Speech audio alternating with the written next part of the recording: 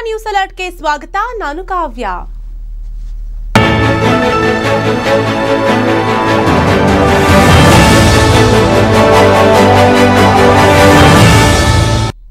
ಹಳೆ ವೈಯಕ್ತಿಕ ದ್ವೇಷದ ಹಿನ್ನೆಲೆಯಲ್ಲಿ ಕೊಡಗು ಯೂತ್ ಕಾಂಗ್ರೆಸ್ ಅಧ್ಯಕ್ಷ ಮಿಥುನ್ ಸ್ನೇಹಿತ ಕಿರಣ್ ಜೊತೆ ಸೇರಿ ವ್ಯಕ್ತಿಯೋರ್ವನ ಕಾರು ಅಡ್ಡಗಟ್ಟಿ ಗಾಜು ಹೊಡೆದು ಹಲ್ಲೆ ಮಾಡಿರುವ ಘಟನೆ ಸೋಮವಾರಪೇಟೆ ತಾಲೂಕಿನ ಹಾನಗಲ್ ಗ್ರಾಮದಲ್ಲಿ ನಡೆದಿದೆ.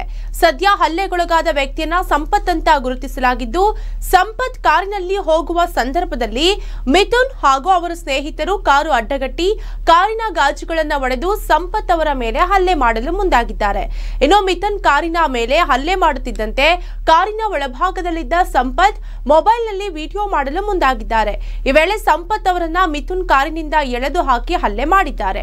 ಈ ನಡುವೆ ಹಳೆ ವೈಯಕ್ತಿಕ ದ್ವೇಷದಿಂದ ಮಿಥುನ್ ಸಂಪತ್ ಅವರ ಮೇಲೆ ಹಲ್ಲೆ ಮಾಡಿದ್ದಾರೆ ಎಂದು ತಿಳಿದು ಬಂದಿದೆ. ಹಲ್ಲೆ ವೇಳೆ ಸಂಪತ್ ಅವರ ಬಲಗೈ ಹೆಬ್ಬೆರಳಿಗೆ ಗಾಯವಾಗಿದೆ. ಕೂಡಲೇ ಸ್ಥಳೀಯರು ಸೋಮವಾರಪೇಟೆ ಆಸ್ಪತ್ರೆಯಲ್ಲಿ ಏತನನ್ನ ದಾಖಲು ಮಾಡಿದ್ದಾರೆ. ಸದ್ಯ ಘಟನೆ ಸಂಬಂಧಿಸಿದಂತೆ ಸೋಮವಾರಪೇಟೆ ಪೊಲೀಸ್ ಠಾಣೆಯಲ್ಲಿ ಪ್ರಕರಣ ದಾಖಲಾಗಿದೆ.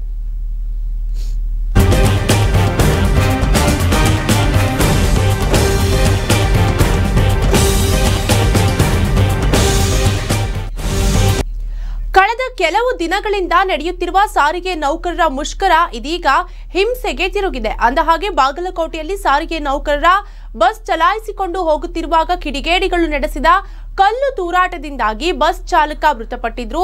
ಏನೋ ಬಸ್ ಚಾಲಕ ಮೃತಪಟ್ಟ ಸುದ್ದಿ ತಿಳಿಯುತ್ತಿದ್ದಂತೆ ರಾಜ್ಯದ ಉಪಮುಖ್ಯಮಂತ್ರಿ, ಸಾರಿಗೆ ಸಚಿವರು ಆದ ಲಕ್ಷ್ಮಣ್ ಸವದಿ ಪತ್ರದ ಮೂಲಕ ಸಂತಾಪವನ್ನ ಸೂಚಿಸಿದ್ದಾರೆ.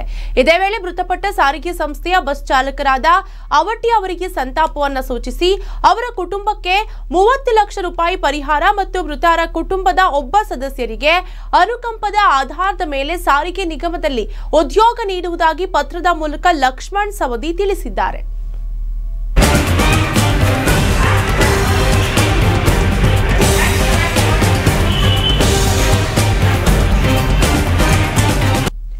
ಕೋವಿಡ್ ಇಡೀ ಜಗತ್ತನ್ನೇ ತಲ್ಲಣಗೊಳ್ಳುವಂತೆ ಮಾಡಿದೆ. ಈ ಸಂದಿಗ್ಧ ಸ್ಥಿತಿಯಲ್ಲಿ ಮಾನವೀಯತೆಯ ನಿದರ್ಶನಗಳು ಕಂಡರೂ ಒಮ್ಮೊಮ್ಮೆ ಅಮಾನವೀಯ ಘಟನೆಗಳು ಘಟಿಸುತ್ತಿವೆ ಸದ್ಯ ಬೆಂಗಳೂರು ನಗರದ ಚಿತಗಾರದಲ್ಲಿ ಅನಾಥ ಶವಗಳ ದೃಶ್ಯ ಕಾಣ್ತಿದೆ. ಆಂಬ್ಯುಲೆನ್ಸ್ನಲ್ಲಿ ಕೊರೋನಾದಿಂದ ಸತ್ತವರ ಮೃತದೇಹವನ್ನ ಸಾಗಿಸಲಾಗ್ತಾ ಇದ್ದು, ಆದರೆ ಮಧ್ಯಾಹ್ನವಾದರೂ ಅಂತ್ಯಕ್ರಿಯೆ ಆಗದೆ ಮೃತದೇಹ ಹಾಗೇ ಇರುವ ಘಟನೆ ಮನಕಲಕುವಂತಿದೆ. ಇನ್ನು ಸುಮ್ಮನಹಳ್ಳಿ ಚಿತಗಾರದಲ್ಲಿ ಬೆಳಿಗ್ಗೆ ನಾಲ್ಕು ಗಂಟೆಯಿಂದ ಶವ ಬೇಕಾಬಿಟ್ಟಿಯಾಗಿರಿಸಲಾಗಿದೆ. ಸಂಬಂಧಿಕರು ಯಾರೂ ಇಲ್ಲದ ಕಾರಣ ಇನ್ನು ಅಂತ್ಯ ಸಂಸ್ಕಾರವನ್ನು ಕೂಡ ಕಂಡಿಲ್ಲ. ಈ ನಡುವೆ ಕೊರೋನಾ ಎರಡನೇ ಅಲೆ ಹೆಚ್ಚುತ್ತಿರುವ ಹಿನ್ನೆಲೆಯಲ್ಲಿ ಸೋಂಕಿತರ ಸಂಖ್ಯೆಯ ಜೊತೆಗೆ ಕೋವಿಡ್ನಿಂದ ಮರಣ ಹೊಂದುತ್ತಿರುವವರ ಸಂಖ್ಯೆ ಕೂಡ ಹೆಚ್ಚಾಗಿದೆ. ಅಲ್ಲದೆ, ಒಂದು ಆಂಬ್ಯುಲೆನ್ಸ್ನಲ್ಲಿ ಮೂರು ಶವಗಳ ಸಾಗಾಟ ಮಾಡುವ ಮೂಲಕ ಖಾಸಗಿ ಆಸ್ಪತ್ರೆ ಸಿಬ್ಬಂದಿ ಬೇಜವಾಬ್ದಾರಿತನ ತೋರಿಸಿದ್ದಾರೆ.